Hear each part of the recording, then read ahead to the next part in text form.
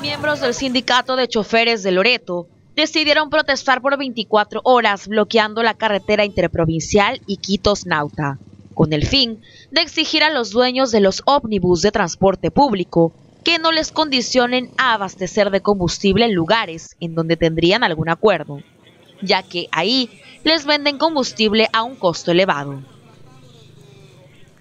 Los protestantes señalaron que el combustible se les vende en poca cantidad y a un costo más elevado. Asimismo, indicaron que los propietarios de los buses no reciben ninguna ayuda cuando ellos se enferman, es decir, no cuentan con un seguro de salud. La paralización perjudicó a gran parte de la población, quienes tuvieron que caminar y protegerse del humo de la quema de llantas para poder llegar a sus trabajos o centros de estudio.